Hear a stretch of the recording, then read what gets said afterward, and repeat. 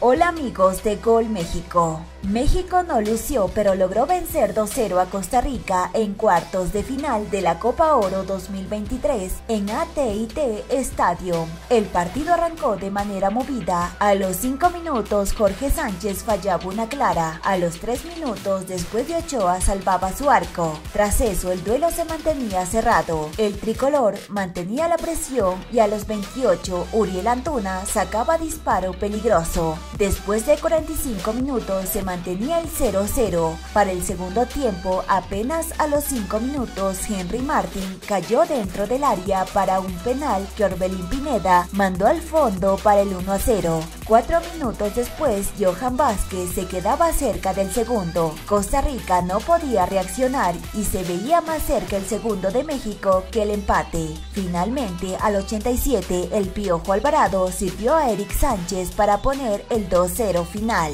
Sí, sí, ordenadito, pero pobre, pobre. Como venimos sacando 30 en el examen, en el otro examen 30, en el otro examen 30, hoy nos sacamos un 50.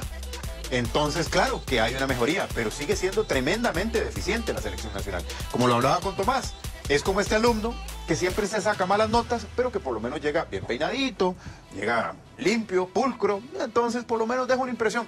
Pero el rendimiento sigue siendo deficiente de la selección mayor de nuestro país. Ya Tomás nos van a hablar un poco más del análisis, pero se lo paso con esto, que son las cosas que uno poco entiende. A ver, e, e, es cierto que Suárez es el que dispone de quién sí y quién no, quién juega y quién no.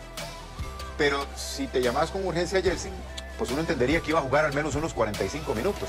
Y si te llamas con suma urgencia a Kenneth Vargas, que está pasando por un buen momento futbolístico, por lo que vimos en los Juegos Centroamericanos y del Caribe en San Salvador, y el muchacho termina el partido que jugó de titular ante México y llega pasada la medianoche para integrarse a la selección mayor, pues no sé para que lo pongas 15 minutos, o es por lo menos lo que yo suponía. Pero lo llevó a pasear, mi querido Tomás.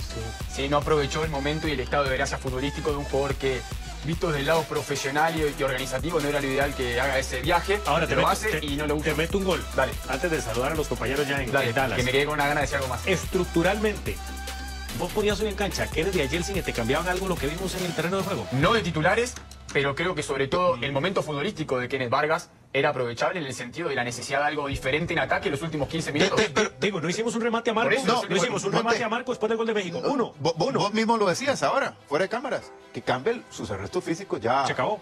Eh, Campbell pensé se, te. Campbell se te cae en los segundos tiempos. Hay que recordar algo muy importante. Estábamos jugando contra un México ralito. Muy ralito. Un México suavecito. Que también es una de las selecciones mexicanas más pobres de rendimiento que yo he observado en los últimos 15 años. Porque si bien es cierto, México en Copa Oro activa su fútbol cuando enfrenta a Estados Unidos, casi siempre ha sido así. La verdad es que hoy México fue decepcionante. Digo, no hablamos de México porque no es lo que nos atañe aquí o lo que nos importa, pero hay que tomar en cuenta cuando hablamos de Costa Rica contra quién estábamos jugando, que si lo habláramos contra otra selección mexicana, uno podría estar regularmente satisfecho si fuera aquel México que se convertía en una aplanadora. Pero no, este México era completamente ganable. Ustedes saben que, que a mí me preocupa mucho, porque yo, yo estoy claro, y, y vieras que ya están listos los compañeros en, en Arlington. Yo, eh, en otros episodios, igual, comparando selecciones limitadas, he visto equipos que tienen un poquito de capacidad de reacción. Y hoy alguna gente se enoja porque yo pongo un, un tuit de que Contreras le pone huevitos. Contreras es un jugador que yo le reconozco, por lo menos, la vergüenza deportiva para colaborar en algunas facetas del juego defensivo. Yo estoy clarísimo que no le alcanza. Pero la capacidad de reacción de Costa Rica después del gol No contra México, cero. Pero cero. Incluso, por eso es que yo les cuestiono lo de, lo de Kenneth Vargas y lo de Yeltsin. Porque incluso yo hoy veo entrar a un, a un Aaron Suárez a la cancha, veo jugar a Warren, eh, veo jugar una serie de jugadores que, que entraron al terreno de juego y el equipo no cambia, camina igual, porque estructuralmente terminas viendo incluso a Warren cerrar marcando en el gol, en el segundo gol de la selección mexicana. Vos ves un desorden en una serie de situaciones. Aquí me, me acota, por ejemplo, mi querido Froilán Alvarado, que le mando un gran abrazo. Lo de, lo de Campbell. Campbell no te hizo una buena jugada balón parado. Costa Rica no te planifica las acciones a balón parado, no tiene planificación en la jugada a balón parado. En, en todo el torneo, o sea, teniendo todos muy buenos centrales. En el partido contra Guadalupe se sacó a flote con balón parado, pero el resto del torneo fue muy deficiente. Pero, pero- pero yo te digo lo, lo de Kenneth, perdón, yo sé que puede ser un dato menor, yo te digo lo de Kenneth porque está bien, a lo mejor ingresaba y el partido sigue igual, pero si lo traes después de un partido, eh, urgentemente, que tiene que llegar a Dallas, y el muchacho pasa por un buen momento y los que están adentro no te están funcionando, bueno, pues probalo, probalo. Un rival eh, más fuerte, de más peso, de más nombre, pues siempre reacciona un poco diferente, por ahí parece que se va a lavar la cara y después termina pues desgranándose la esperanza. Hoy perdemos, hoy quedamos de nuevo eliminados, hoy de nuevo en Copa Oro para la casa. Hola Cristian, saludos para todos. Eh, muchachos, perdimos 2-0, ¿verdad?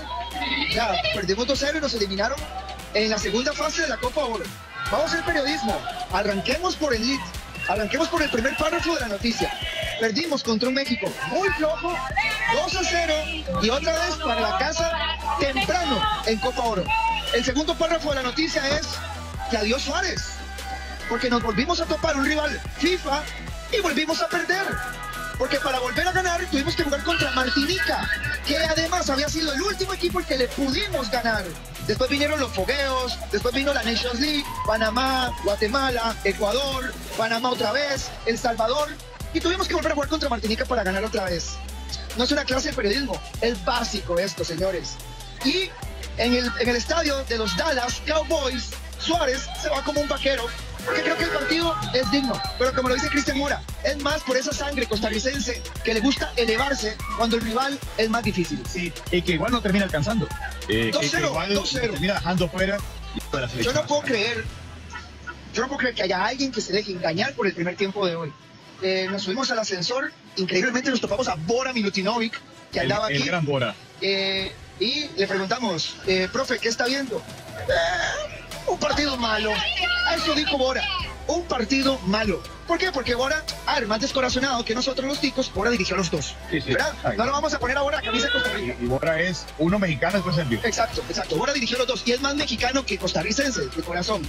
Pero Bora dijo, como un analista experto en fútbol que sabe verlo mejor que todos juntos aquí, digo, "Ah, un partido malo, ácido y agrio como siempre don Bora Milutinovic.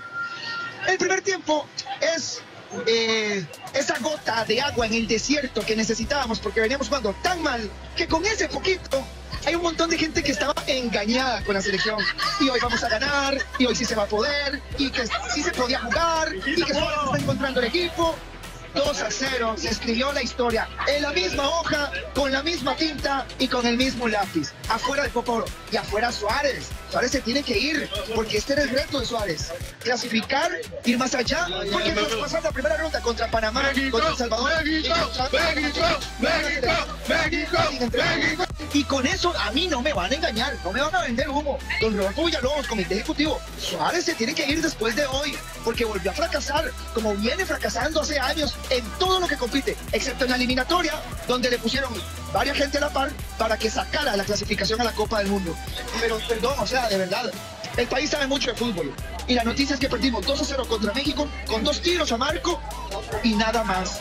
Que el partido, que el primer tiempo no engaña a nadie. Este señor, con todo respeto, que como un caballero se comportó en sus últimos días en la recta final, en esta Copa Oro, que aguantó palo, que, que aguantó la crítica, que aceptó todas, todas las preguntas de cuestionamiento de nosotros como un gentleman, aún así, perdón, se tiene que ir. Sí, yo creo que es una opinión generalizada. O sea, me costaría pensar que hoy alguien diga, no, necesitamos que siga Suárez.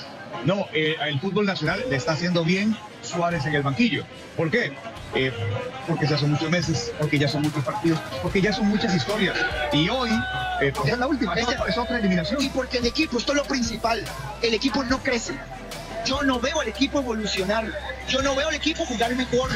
Yo lo veo, hoy lo que pasó fue una cuestión de jugadores, de camerino, del tico que se agranda, del tico que no solamente en el fútbol, en todo, en todo. El tico que viene aquí a limpiar ventanas termina haciéndose una empresa. El tico que viene aquí a barrer pisos termina montándose un negocio propio. El tico es enorme. Y el tico, jugador, también es así. Y el primer tiempo fue eso. Fue el tico que le pone, que, que- que- se mata, que redoble esfuerzos. Pero el músculo sin fútbol no alcanza. Y esta selección no tiene fútbol. Y eso es culpa de Suárez, de Bomber, de Douglas, de Niño y del otro, el psicólogo que no me acuerdo cómo se llama. Eso es culpa de un cuerpo técnico que no ha sabido sacar a la selección de un pozo, de un pantano. Trabada hasta esta selección. No juega bien el fútbol.